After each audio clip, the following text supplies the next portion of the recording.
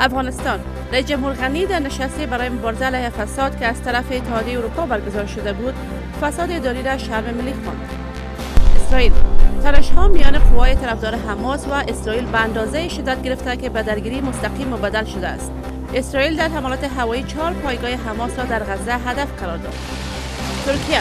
صدر ترکیه آخرین ماه از مقامش کنار رفته و قدرت بیشتر را برای جمهور آن کشور واگذار خواهد سوریه ایالات متحده و روسیه روی آتش بس 48 ساعته بین حکومت سوریه و شورشیان در شهر حلب مذاکره نمودند که تاکنون 280 نفر از افراد ملکی در آنجا کشته شدند.